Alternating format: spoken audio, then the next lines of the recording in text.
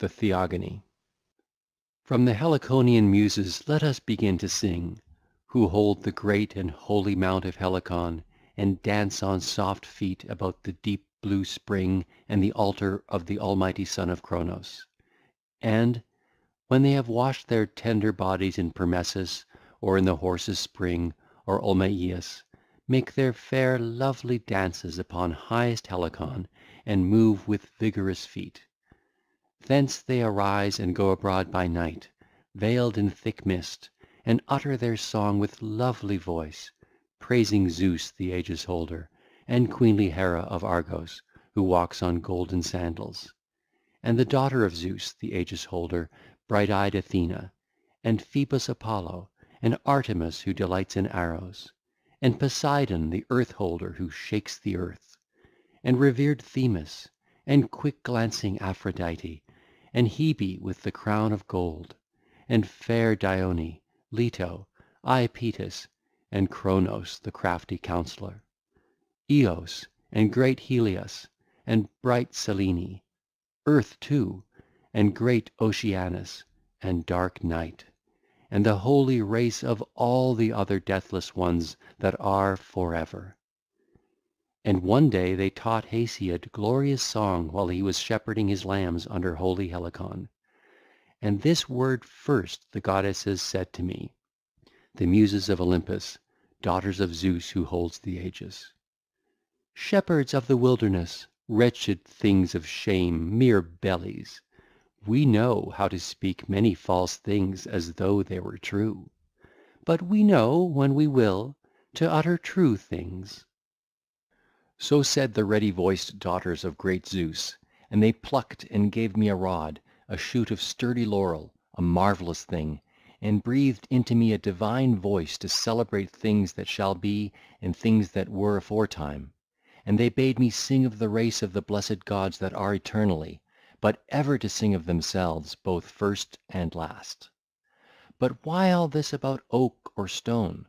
Come you, let us begin with the Muses who gladden the great spirit of their father Zeus in Olympus with their songs, telling of things that are and that shall be and that were aforetime with consenting voice. Unwearying flows the sweet sound from their lips, and the house of their father Zeus the loud thunderer is glad at the lily-like voice of the goddesses as it spreads abroad, and the peaks of snowy Olympus resound and the homes of the immortals.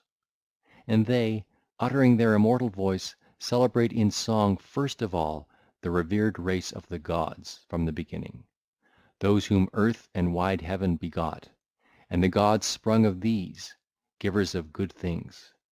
Then next the goddesses sing of Zeus, the father of gods and men, as they begin and end their strain, how much he is the most excellent among the gods and supreme in power.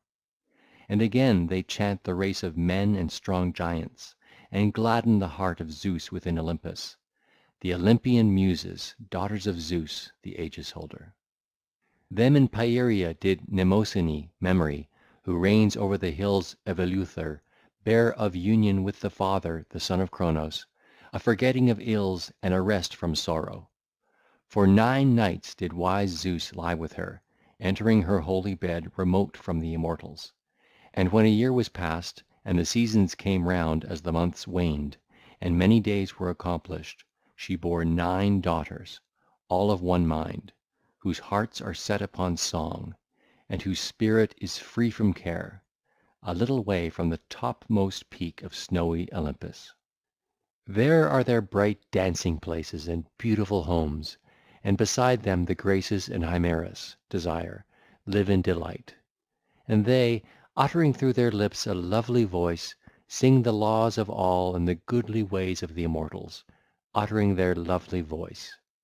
Then went they to Olympus, delighting in their sweet voice, with heavenly song, and the dark earth resounded about them as they chanted and a lovely sound rose up beneath their feet as they went to their father.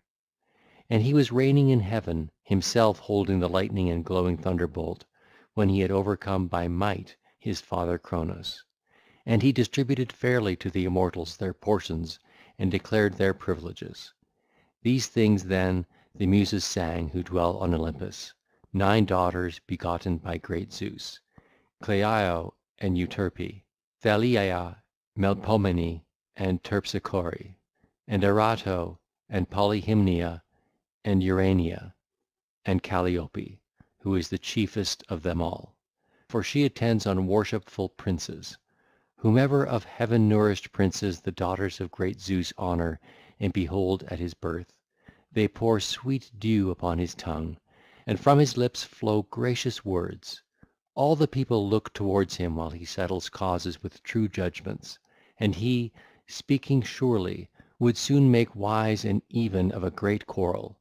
For therefore are their princes wise in heart, because when the people are being misguided in their assembly, they set right the matter again with ease, persuading them with gentle words; and, when he passes through a gathering, they greet him as a god with gentle reverence, and he is conspicuous amongst the assembled. Such is the holy gift of the Muses to men. For it is through the Muses and far shooting Apollo that there are singers and harpers upon the earth. But princes are of Zeus, and happy is he whom the Muses love. Sweet flows speech from his mouth. For although a man has sorrow and grief in his newly troubled soul, and lives in dread because his heart is distressed, yet when a singer, the servant of the Muses, chants the glorious deeds of men of old and the blessed gods who inhabit Olympus, at once he forgets his heaviness and remembers not his sorrows at all, but the gifts of the goddesses soon turn him away from these. Hail, children of Zeus! Grant lovely song and celebrate the holy race of the deathless gods who are for ever. Those that were born of earth and starry heaven and gloomy night, and them that briny sea did rear. Tell how at the first gods and earth came to be, and rivers, and the boundless sea with its raging swell, and the gleaming stars and the wide heaven above, and the gods who were born of them, givers of good things; and how they divided their wealth, and how they shared their honours amongst them, and also how at the first they took many-folded Olympus. These things declare to me from the beginning, you Muses who dwell in the house of Olympus, and tell me which of them first came to be. In truth at first Chaos came to be, but next wide-bosomed Earth, the ever sure foundation of all the deathless ones who hold the peaks of snowy Olympus and dim Tartarus in the depth of the wide-pathed earth. And Eros, love, fairest among the deathless gods, who unnerves the limbs and overcomes the mind and wise counsels of all gods and all men within them. From Chaos came forth Erebus and black Night, but of Night were born Ether and Day, whom she conceived and bare from union in love with Erebus. And Earth first bare starry Heaven, equal to herself, to cover her on every side, and to be an ever sure abiding place for the blessed gods. And she brought forth long hills, graceful haunts of the goddess nymphs who dwell amongst the glens of the hills.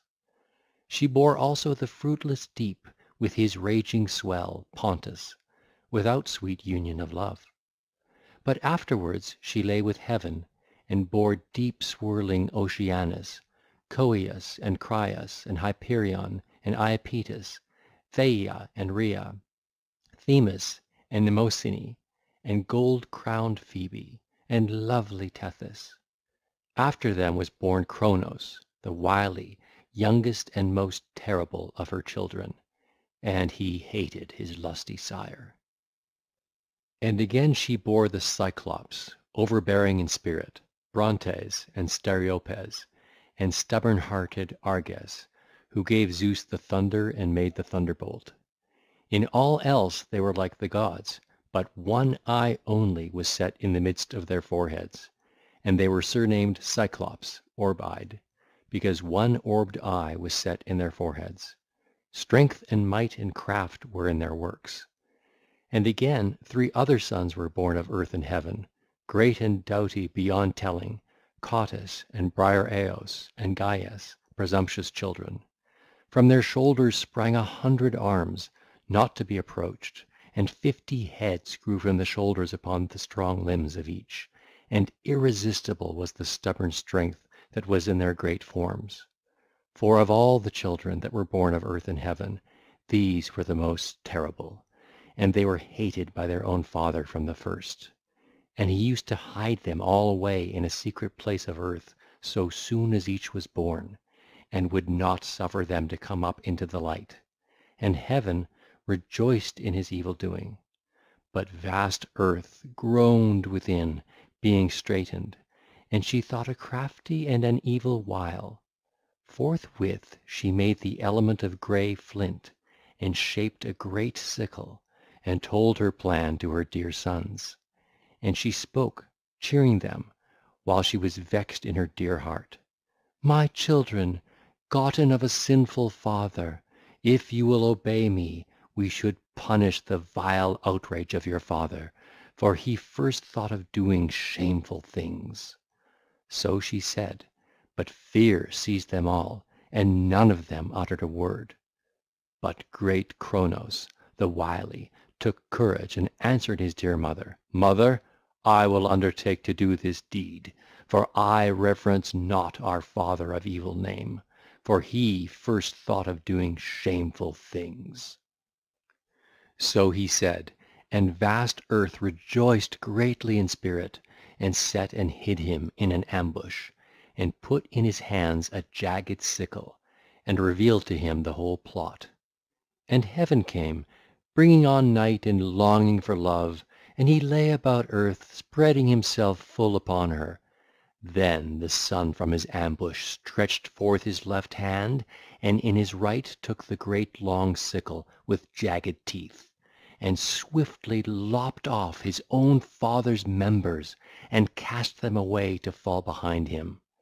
And not vainly did they fall from his hand, for all the bloody drops that gushed forth earth received, and as the seasons moved round, she bore the strong Erinyes and the great giants with gleaming armour, holding long spears in their hands, and the nymphs whom they call Meliae, all over the boundless earth.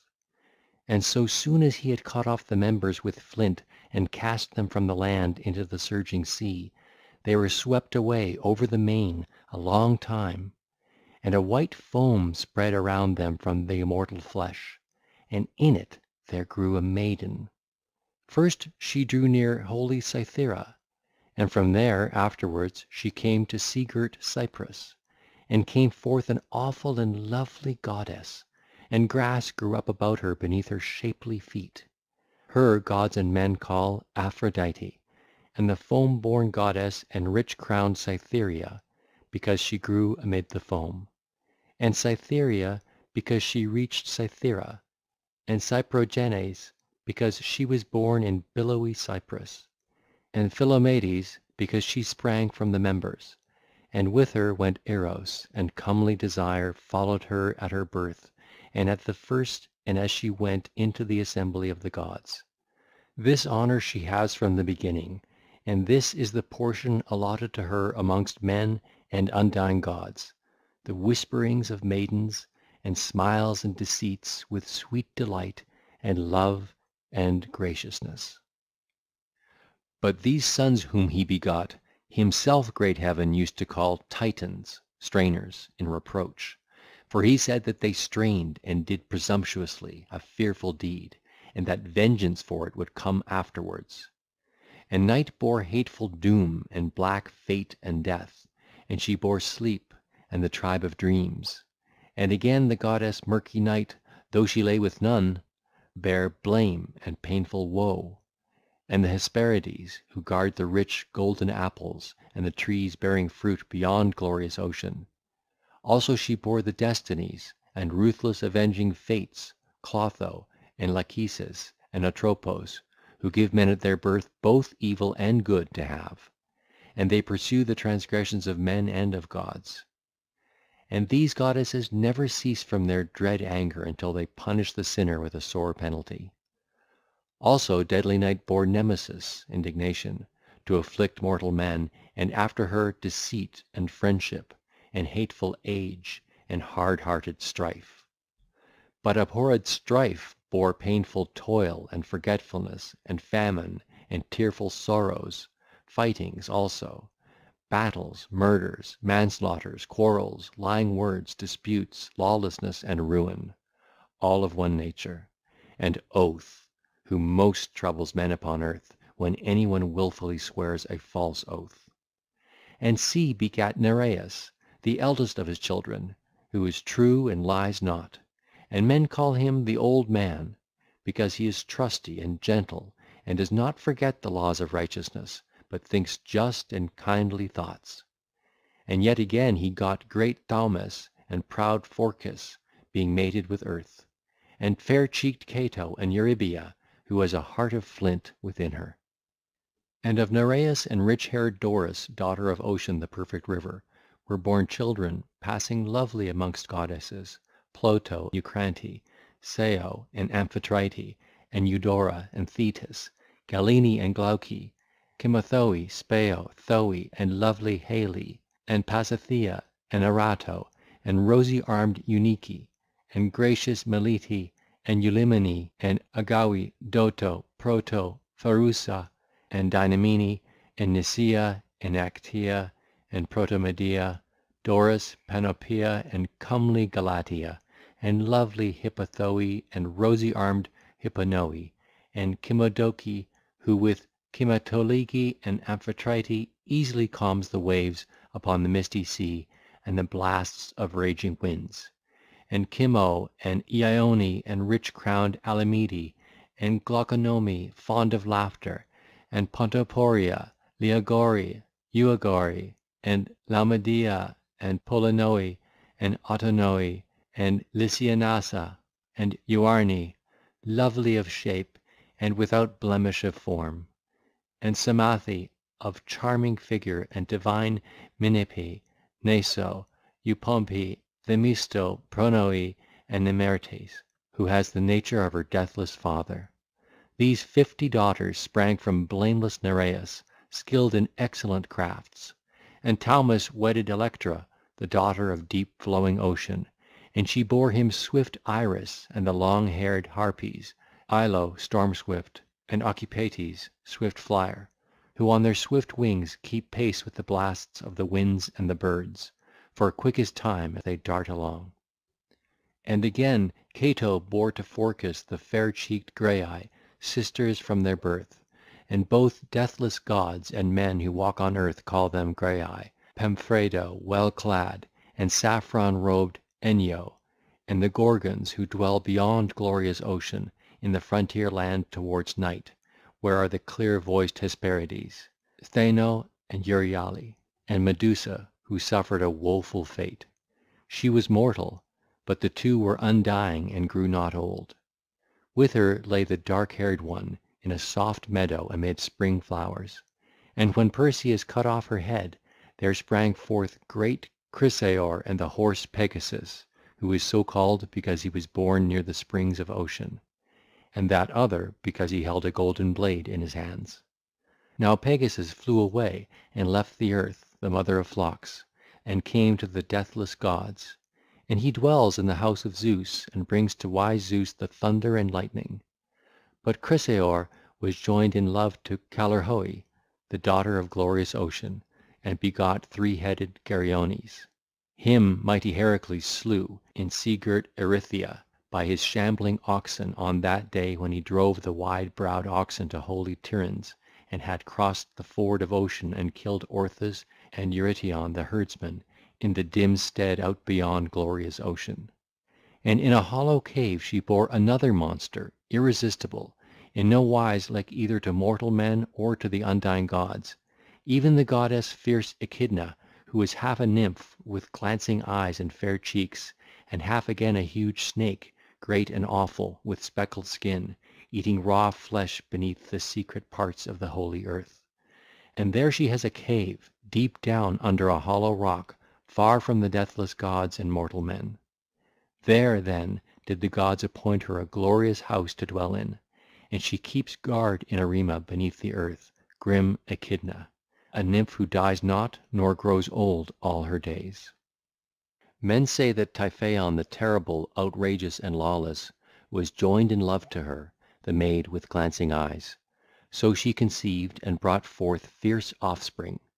First she bore Orthus the hound of Geryones, and then again she bore a second, a monster not to be overcome and that may not be described, Cerberus who eats raw flesh, the brazen voiced hound of Hades, fifty headed, relentless and strong. And again she bore a third, the evil minded Hydra of Lerna, whom the goddess white armed Hera nourished, being angry beyond measure with the mighty Heracles.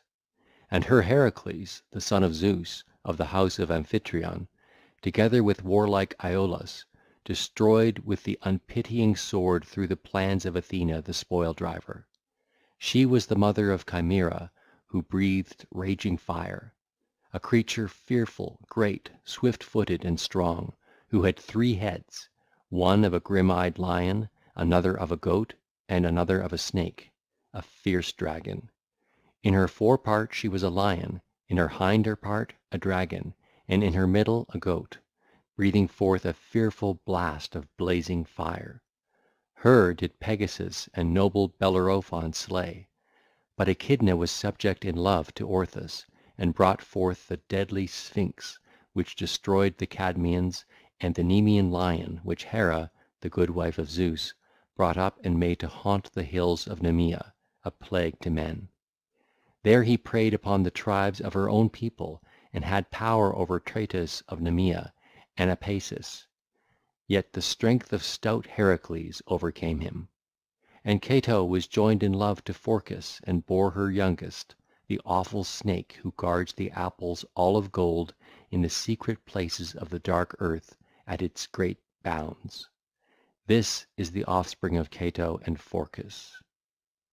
And Tethys bore to Ocean eddying rivers Nilus and Alpheus and deep swirling Eridanus, Strymon and Meander, and the fair stream of Ister, and Phasis and Rhesus, and the silver eddies of Achelous, Nessus and Rhodius, Haliacmon and Heptaporus, Granicus and Aesepus, and holy Simois and Peneus, and Hermus and Cacus' fair stream, and great Sangarius, Ladon, Parthenius, Euenus, Ardescus, and divine Scamander.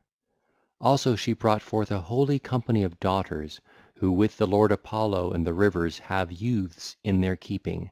To this charge Zeus appointed them, Peitho and Admete and Ianthe and Electra, and Doris and Prymno and Urania divine in form, Hippo, Clymene, Rhodea and Callirrhoe, Zeuxo and Clytie and Idyia and Pasithoe, Plexaura and Galaxaura and lovely Dione, Melobosis and Thoe and handsome Polydora, Cerceis lovely of form, and soft eyed Pluto, Perseus, Ianeira, Acaste, Xanthe, Petraea the fair, Menestho and Europa, Metis and Eurynome and Telesto saffron clad, Chryseis and Acaea and charming Calypso, Eudora and Tyche, Amphirho and Ocyrrhoe and Styx who is the chiefest of them all. These are the eldest daughters that sprang from Ocean and Tethys, but there are many besides. For there are three thousand neat ankled daughters of Ocean who are dispersed far and wide, and in every place alike serve the earth and the deep waters, children who are glorious among goddesses, and as many other rivers are there, babbling as they flow, sons of Ocean whom queenly Tethys bare. But their names it is hard for a mortal man to tell, but people know those by which they severally dwell. And Theia was subject in love to Hyperion, and bare great Helius sun, and clear Selene moon, and Eos dawn, who shines upon all that are on earth and upon the deathless gods who live in the wide heaven. And Eurybia, bright goddess, was joined in love to Crius and bore great Astraeus and Pallas, and Perses who also was eminent among all men in wisdom. And Eos bare to Astraeus the strong hearted winds, brightening Zephyrus, and Boreas, headlong in his course, and Notus, a goddess mating in love with a god. And after these Erigenia bare the star Eosphorus, dawn bringer, and the gleaming stars with which heaven is crowned, And Styx, the daughter of Ocean, was joined to Pallas and bare Zelus (Emulation) and trim ankled Nike (Victory) in the house. Also she brought forth Kratos (Strength) and Baia (Force), wonderful children. These have no house apart from Zeus, nor any dwelling nor path, except that wherein God leads them, but they dwell always with Zeus the loud thunderer. For so did Styx the deathless daughter of Ocean plan on that day when the Olympian Lightning God called all the deathless gods to great Olympus, and said that whosoever of the gods would fight with him against the Titans, he would not cast him out from his rights, but each should have the office which he had before amongst the deathless gods. And he declared that he who was without office or right under Cronos should be raised to both office and rights as is just. So deathless Styx came first to Olympus with her children through the wit of her dear father.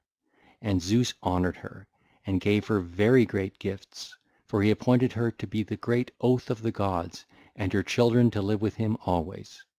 And as he promised, so he performed fully unto them all; but he himself mightily reigns and rules. Again Phoebe came to the desired embrace of Coeus. Then the goddess through the love of the god conceived and brought forth dark gowned Leto, always mild, kind to men and to the deathless gods, mild from the beginning, gentlest in all Olympus. Also she bare Asteria of happy name, whom Perses once led to his great house to be called his dear wife. And she conceived and bare Hecate, whom Zeus the son of Cronos honoured above all. He gave her splendid gifts, to have a share of the earth and the unfruitful sea. She received honour also in starry heaven, and is honoured exceedingly by the deathless gods. For to this day, whenever any one of men on earth offers rich sacrifices and prays for favour according to custom, he calls upon Hecate, great honour comes full easily to him whose prayers the goddess receives favourably, and she bestows wealth upon him. For the power surely is with her. For as many as were born of earth and ocean amongst all these she has her due portion. The son of Cronos did her no wrong nor took anything away of all that was her portion among the former Titan gods.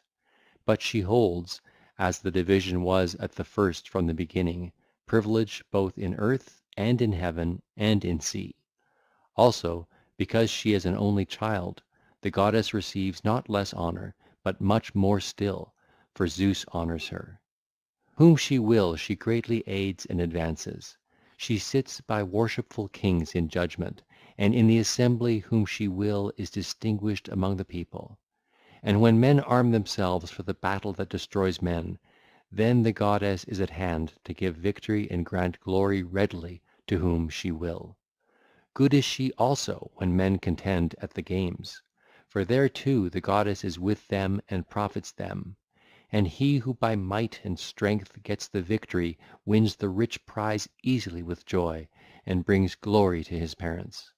And she is good to stand by horsemen, whom she will, and to those whose business is in the grey discomfortable sea, and who pray to Hecate and the loud crashing Earth shaker. Easily the glorious goddess gives great catch, and easily she takes it away as soon as seen, if so she will. She is good in the byre with Hermes to increase the stock, the droves of kine and wide herds of goats and flocks of fleecy sheep, if she will, she increases from a few, or makes many to be less. So then, albeit her mother's only child, she is honoured amongst all the deathless gods, and the son of Cronos made her a nurse of the young who after that day saw with their eyes the light of all-seeing dawn. So from the beginning she is a nurse of the young, and these are her honours. But Rhea was subject in love to Cronos and bare splendid children, Hestia, Demeter, and gold shod Hera, and strong Hades, pitiless in heart, who dwells under the earth, and the loud crashing Earth shaker, and wise Zeus, father of gods and men, by whose thunder the wide earth is shaken. These great Cronos swallowed as each came forth from the womb to his mother's knees, with this intent, that no other of the proud sons of heaven should hold the kingly office amongst the deathless gods. For he learned from Earth and starry Heaven that he was destined to be overcome by his own son, strong though he was, through the contriving of great Zeus. Therefore he kept no blind outlook, but watched and swallowed down his children, and unceasing grief seized Rhea. But when she was about to bear Zeus, the father of gods and men, then she besought her own dear parents, Earth and starry Heaven, to devise some plan with her that the birth of her dear child might be concealed, and that retribution might overtake great crafty Cronos for his own father and also for the children whom he had swallowed down. And they readily heard and obeyed their dear daughter, and told her all that was destined to happen touching Cronos the king and his stout hearted son. So they sent her to Lyctus, to the rich land of Crete, when she was ready to bear great Zeus, the youngest of her children. Him did vast Earth receive from Rhea in wide Crete to nourish and to bring up. To that place came Earth, carrying him swiftly through the black night to Lyctus first, and took him in her arms and hid him in a remote cave beneath the secret places of the holy earth on thick wooded Mount Aegaeum. But to the mightily ruling Son of Heaven, the earlier king of the gods, she gave a great stone wrapped in swaddling clothes. Then he took it in his hands and thrust it down into his belly. Wretch! He knew not in his heart that in place of the stone his son was left behind, unconquered and untroubled, and that he was soon to overcome him by force and might drive him from his honours, himself to reign over the deathless gods. After that the strength and glorious limbs of the prince increased quickly, and as the years rolled on, great Cronos the wily was beguiled by the deep suggestions of Earth, and brought up again his offspring, vanquished by the arts and the might of his own son, and he vomited up first the stone which he had swallowed last. And Zeus set it fast in the wide pathed Earth at goodly Pytho under the glens of Parnassus, to be a sign thenceforth and a marvel to mortal men. And he set free from their deadly bonds the brothers of his father, sons of Heaven whom his father in his foolishness had bound, and they remembered to be grateful to him for his kindness, and gave him thunder and the glowing thunderbolt and lightning, for before that huge Earth had hidden these. In them he trusts and rules over mortals and immortals. Now Iapetus took to wife the neat ankled maid Clymene, daughter of Ocean, and went up with her into one bed. And she bore him a stout hearted son, Atlas.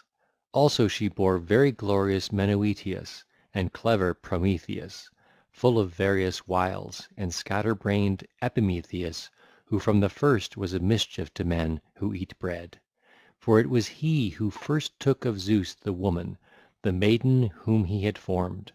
But Menoetius was outraged, and far seeing Zeus struck him with a lurid thunderbolt and sent him down to Erebus because of his mad presumption and exceeding pride.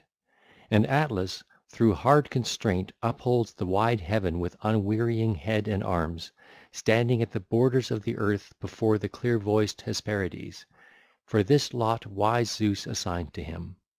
And ready witted Prometheus he bound with inextricable bonds, cruel chains, and drove a shaft through his middle, and set on him a long winged eagle which used to eat his immortal liver, but by night the liver grew as much again every way as the long winged bird devoured in the whole day.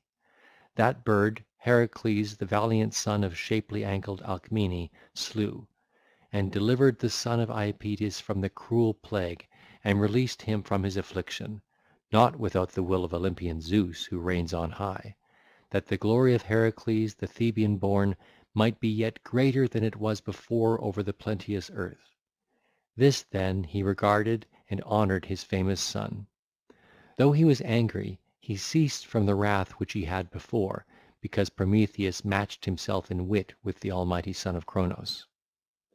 For when the gods and mortal men had a dispute at Mecone, even then Prometheus was forward to cut up a great ox and set portions before them, trying to deceive the mind of Zeus. Before the rest he set flesh and inner parts thick with fat upon the hide, covering them with an ox paunch. But for Zeus he put the white bones, dressed up with cunning art and covered with shining fat.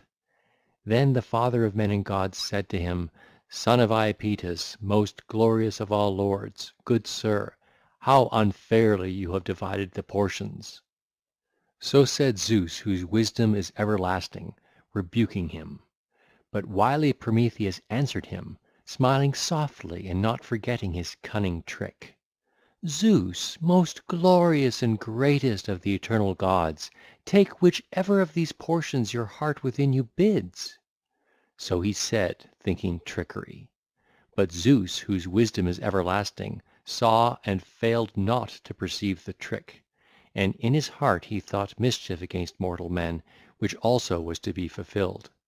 With both hands he took up the white fat and was angry at heart, and wrath came to his spirit when he saw the white ox bones craftily tricked out.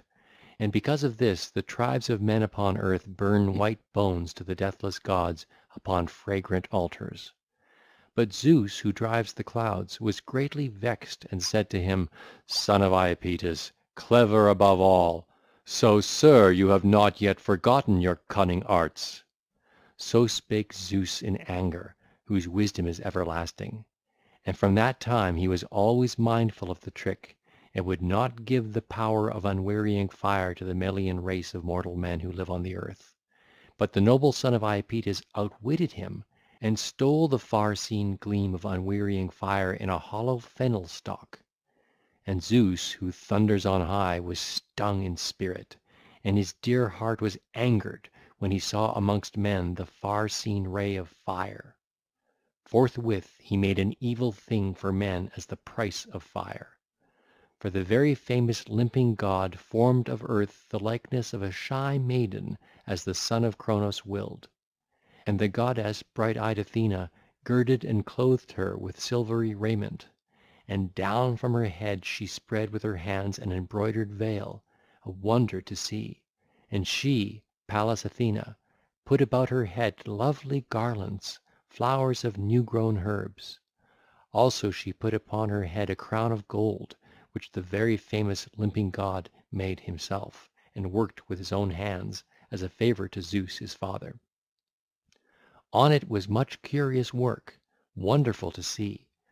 For of the many creatures which the land and sea rear up, he put most upon it, wonderful things, like living beings with voices, and great beauty shone out from it.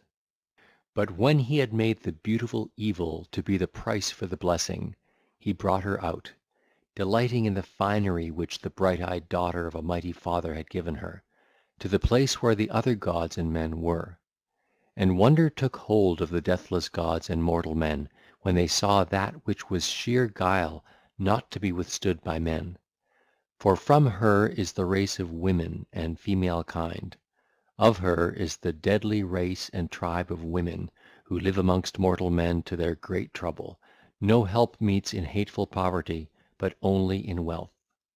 And as in thatched hives bees feed the drones whose nature is to do mischief, by day and throughout the day until the sun goes down the bees are busy and lay the white combs, while the drones stay at home in the covered hives and reap the toil of others into their own bellies. Even so Zeus, who thunders on high, made women to be an evil to mortal men, with a nature to do evil. And he gave them a second evil to be the price for the good they had. Whoever avoids marriage and the sorrows that women cause, and will not wed, reaches deadly old age without any one to tend his years. And though he at least has no lack of livelihood while he lives, yet, when he is dead, his kinfolk divide his possessions amongst them. And as for the man who chooses the lot of marriage and takes a good wife suited to his mind, evil continually contends with good. For whoever happens to have mischievous children lives always with unceasing grief in his spirit and heart within him, and this evil cannot be healed. So it is not possible to deceive or go beyond the will of Zeus, for not even the son of Iapetus, kindly Prometheus, escaped his heavy anger, but of necessity strong bands confined him, although he knew many a wile. But when first their father was vexed in his heart with Obriareus and Cottus and Gyes. He bound them in cruel bonds, because he was jealous of their exceeding manhood and comeliness and great size; and he made them live beneath the wide pathed earth, where they were afflicted being set to dwell under the ground, at the end of the earth, at its great borders, in bitter anguish for a long time and with great grief at heart. But the son of Cronos and the other deathless gods whom rich haired Rhea bare from union with Cronos, brought them up again to the light at Earth's advising; for she herself recounted all things to the gods fully, how with these they might gain victory and a glorious cause to vaunt themselves. For the Titan gods and as many as sprang from Cronos had long been fighting together in stubborn war with heart grieving toil, the lordly Titans from high Othrys, but the gods, givers of good, whom rich haired Rhea bare in union with Cronos from Olympus. So they with bitter wrath were fighting continually with one another at that time for ten full years, and the hard strife had no close or end for either side, and the issue of the war hung evenly balanced. But when he had provided those three with all things fitting, nectar and ambrosia which the gods themselves eat, and when their proud spirit revived within them all, after they had fed on nectar and delicious ambrosia, then it was that the father of men and gods spoke amongst them: (ll. 265 266) 'Hear me, bright children of Earth and Heaven, that I may say what my heart within me bids.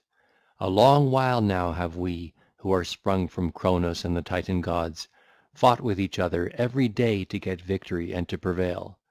But show your great might and unconquerable strength, and face the Titans in bitter strife. For remember our friendly kindness, and from what sufferings you are come back to the light from your cruel bondage under misty gloom through our counsels.' So he said, and blameless Cottus answered him again, Divine One, you speak that which we know well; No, even of ourselves we know that your wisdom and understanding is exceeding, and that you became a defender of the deathless ones from chill doom. And through your devising we have come back again from the murky gloom and from our merciless bonds, enjoying what we looked not for, O Lord, son of Cronos. And so now with fixed purpose and deliberate counsel we will aid your power in dreadful strife and will fight against the Titans in hard battle.' So he said, and the gods, givers of good things, applauded when they heard his word, and their spirit longed for war even more than before, and they all, both male and female, stirred up hated battle that day, the Titan gods and all that were born of Cronos together with those dread, mighty ones of overwhelming strength, whom Zeus brought up to the light from Erebus beneath the earth. A hundred arms sprang from the shoulders of all alike, and each had fifty heads growing from his shoulders upon stout limbs.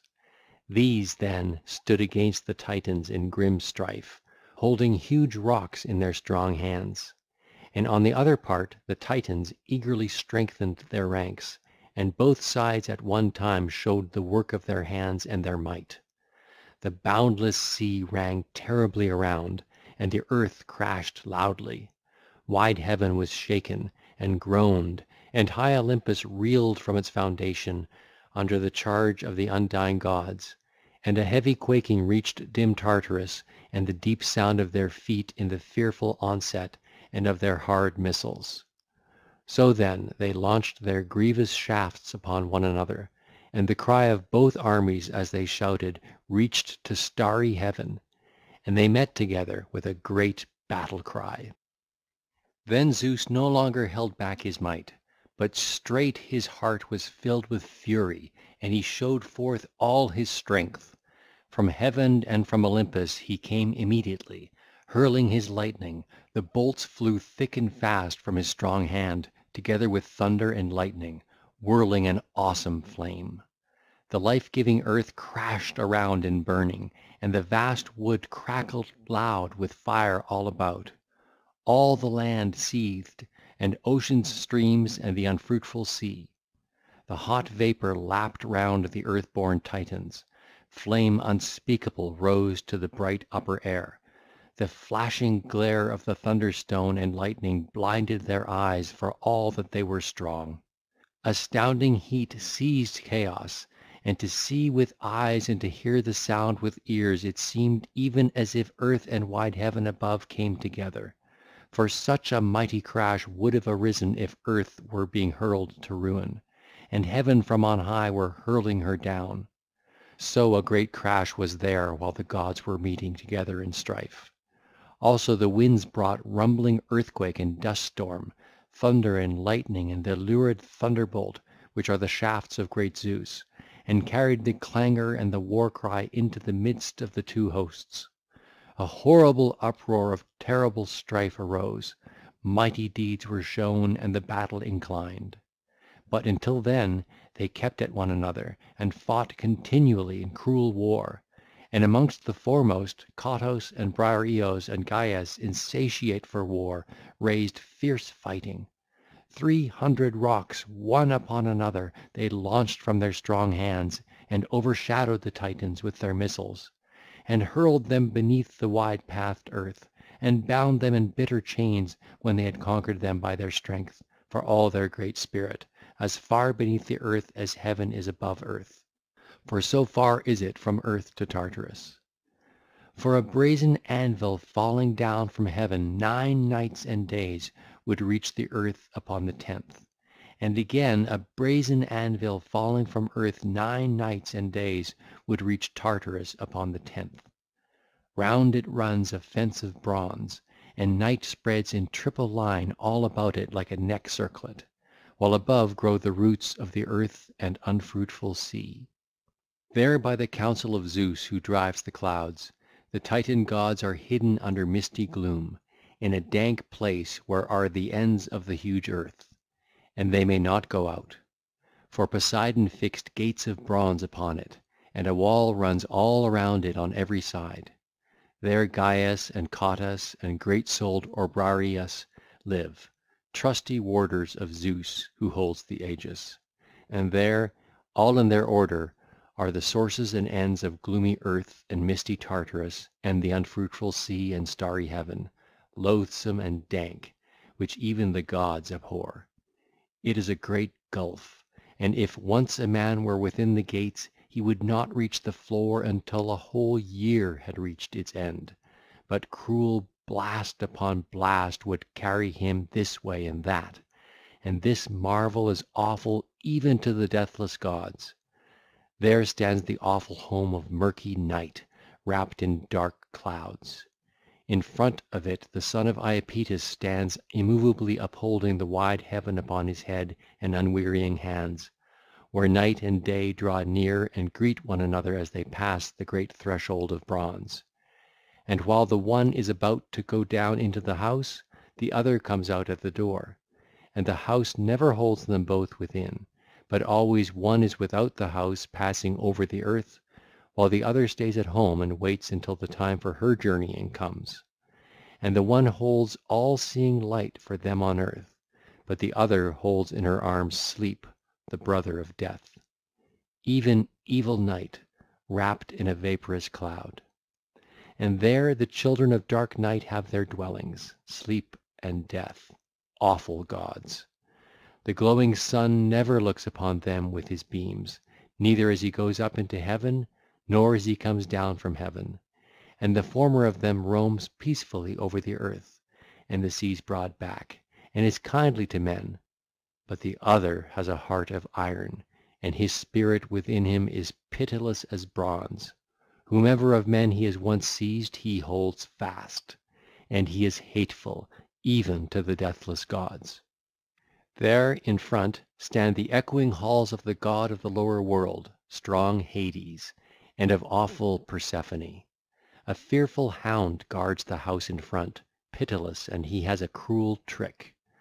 On those who go in he fawns with his tail and both his ears, but suffers them not to go out back again, but keeps watch and devours whomever he catches going out of the gates of strong Hades and awful Persephone.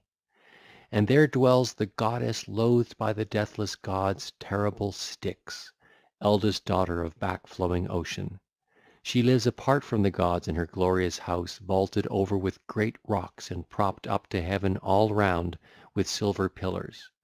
Rarely does the daughter of Thaumas, swift-footed Iris, come to her with a message over the sea's wide back.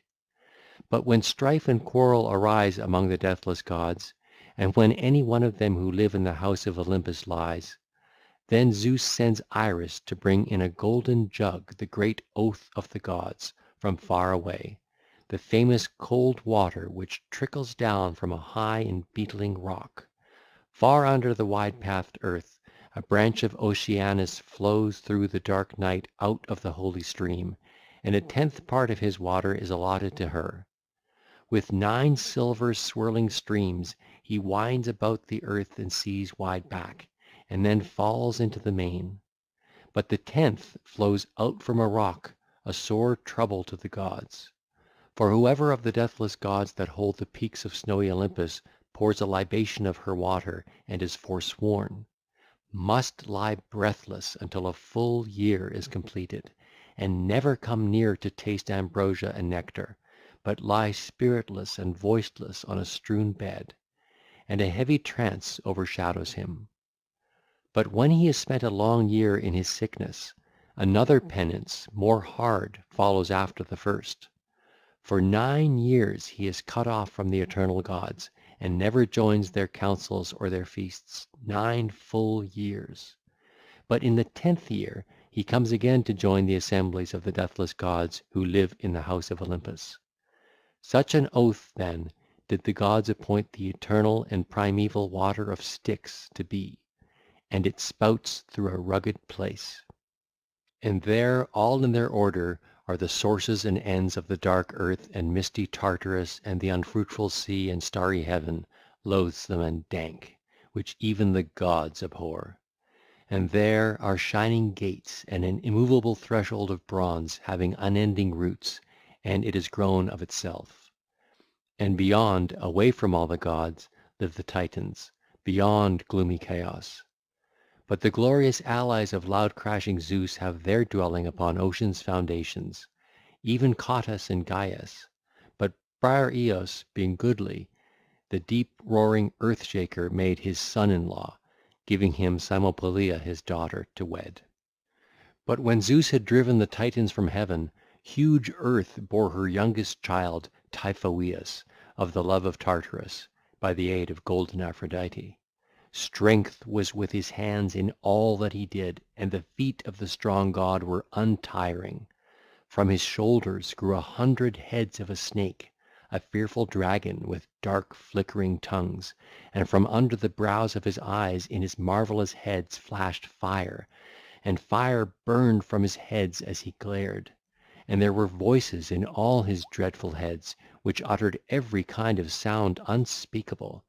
For at one time they made sounds such that the gods understood, but at another the noise of a bull bellowing aloud in proud ungovernable fury, and at another the sound of a lion relentless of heart, and at another sounds like whelps, wonderful to hear, and again at another he would hiss so that the high mountains re-echoed. And truly a thing past help would have happened on that day, and he would have come to reign over mortals and immortals, had not the father of men and gods been quick to perceive it.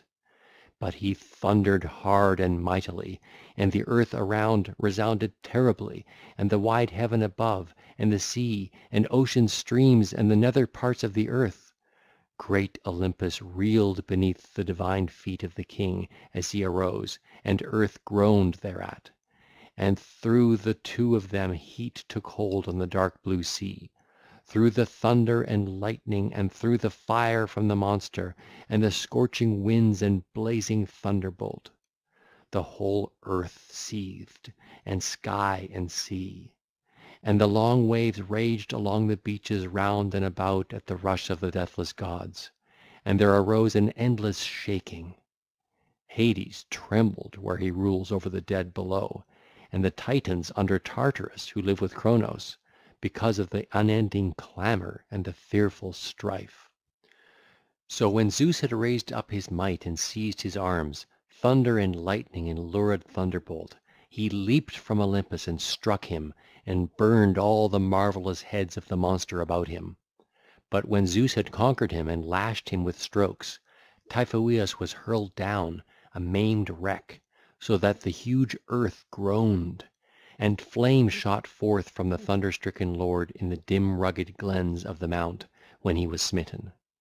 A great part of huge earth was scorched by the terrible vapour and melted as tin melts when heated by men's art in channelled crucibles, or as iron, which is hardest of all things, is shortened by glowing fire in mountain glens and melts in the divine earth through the strength of Hephaestus.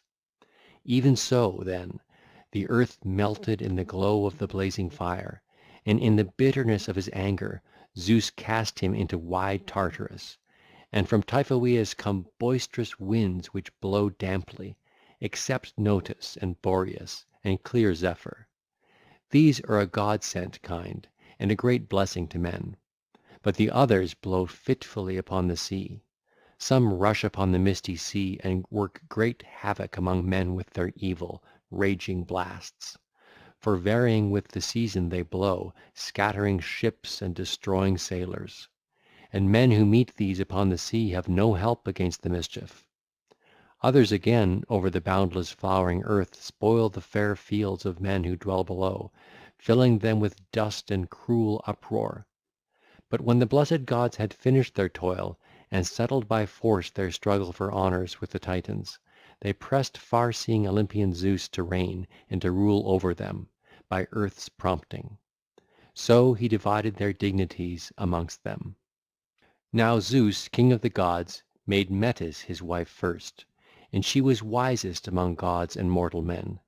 But when she was about to bring forth the goddess bright-eyed Athena, Zeus craftily deceived her with cunning words and put her in his own belly as earth and starry heaven advised.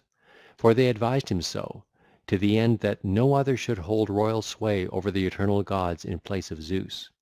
For very wise children were destined to be born of her, first the maiden bright-eyed Tritogeneia, equal to her father in strength and in wise understanding, but afterwards she was to bear a son of overbearing spirit, king of gods and men. But Zeus put her into his own belly first, that the goddess might devise for him both good and evil. Next he married bright Themis, who bore the Horai (Hours), and Eunomia (Order), Dike (Justice), and blooming Eirene (Peace), who mind the works of mortal men, and the Moirai (Fates), to whom wise Zeus gave the greatest honour, Clotho and Lachesis and Atropos who give mortal men evil and good to have, and Eurynome, the daughter of Ocean, beautiful in form, bore him three fair-cheeked Charites (Graces), Aglaea and Euphrosyne and lovely Thaleia, from whose eyes as they glanced flowed love that unnerves the limbs, and beautiful is their glance beneath their brows. Also he came to the bed of all-nourishing Demeter, and she bore white-armed Persephone, whom Aidoneus carried off from her mother, but wise Zeus gave her to him.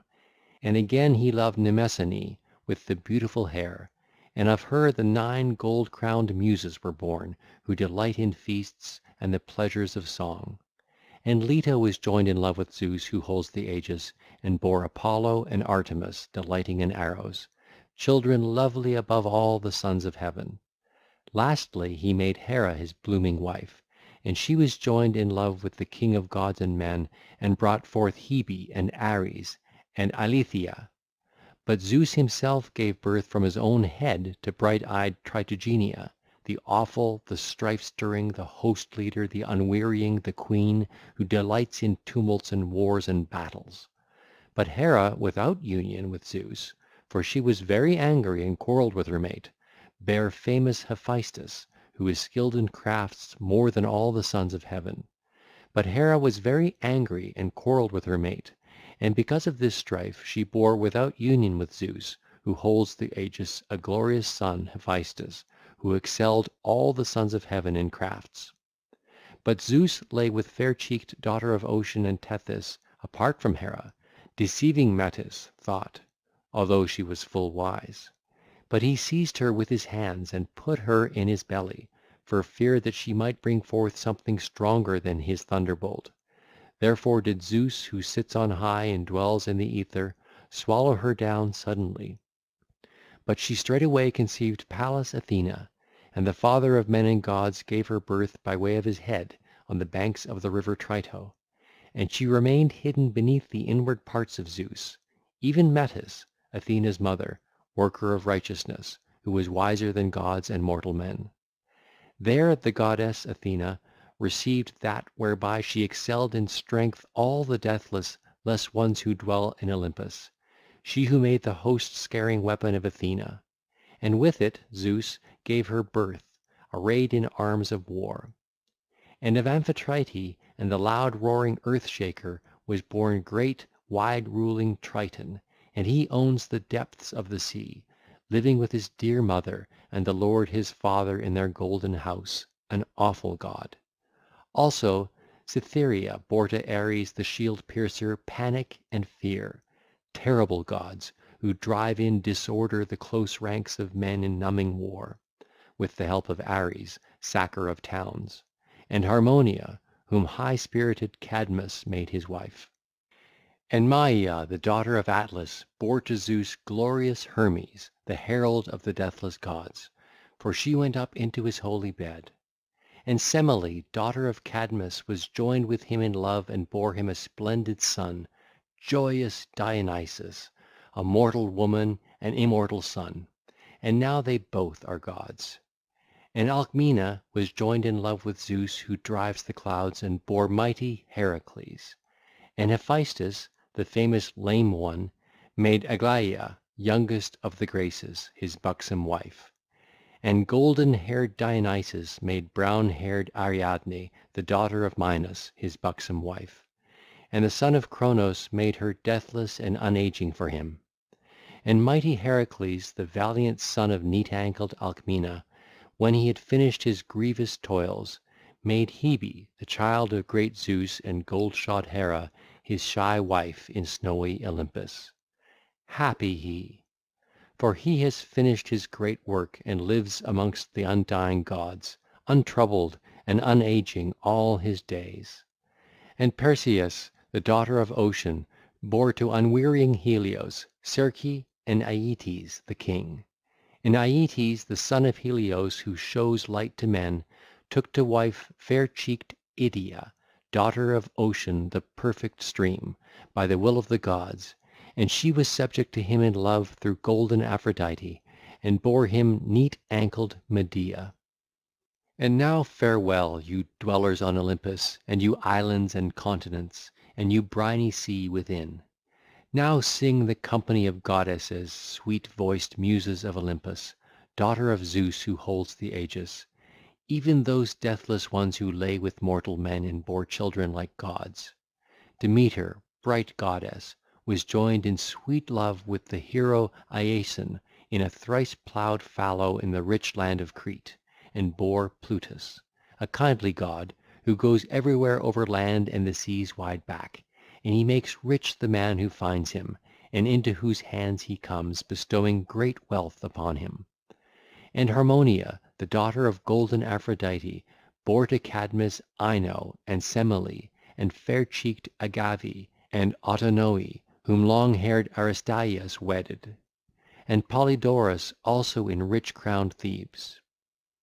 And the daughter of Ocean, Callirrhoe, was joined in the love of rich Aphrodite with stout hearted Chrysaor, and bore a son who was the strongest of all men, Geryones, whom mighty Heracles killed in sea girt Erythea for the sake of his shambling oxen. And Eos bare to Tithonus brazen crested Memnon, king of the Ethiopians and the lord Emathion, and to Cephalus she bare a splendid son, strong Phaethon, a man like the gods, whom, when he was a young boy in the tender flower of glorious youth with childish thoughts, laughter loving Aphrodite seized and caught up and made a keeper of her shrine by night, a divine spirit. And the son of Aeson by the will of the gods led away from Aeetes the daughter of Aeetes the heaven nurtured king, when he had finished the many grievous labours which the great king overbearing Pelias, that outrageous and presumptuous doer of violence, put upon him. But when the son of Aeson had finished them, he came to Iolcus after long toil bringing the coy eyed girl with him on his swift ship, and made her his buxom wife. And she was subject to Iason, shepherd of the people, and bare a son Medeus whom Chiron, the son of Philyra, brought up in the mountains. And the will of great Zeus was fulfilled. But of the daughters of Nereus, the old man of the sea, Psamathe, the fair goddess, was loved by Aeacus through golden Aphrodite, and bare Phocus. And the silver shod goddess Thetis was subject to Peleus and brought forth lion hearted Achilles, the destroyer of men. And Cytherea with the beautiful crown was joined in sweet love with the hero Anchises and bare Aeneas on the peaks of Ida with its many wooded glens. And Circe, the daughter of Helios, Hyperion's son, loved steadfast Odysseus and bare Agrius and Latinus, who was faultless and strong. Also she brought forth Telegonus by the will of golden Aphrodite. And they ruled over the famous Tyrsenians, very far off in a recess of the holy islands. And the bright goddess Calypso was joined to Odysseus in sweet love, and bare him Nausithous and Nausinous. These are the immortal goddesses who lay with mortal men and bare them children like gods. But now, sweet voiced Muses of Olympus, daughters of Zeus who hold the aegis, sing of the company of women. 2.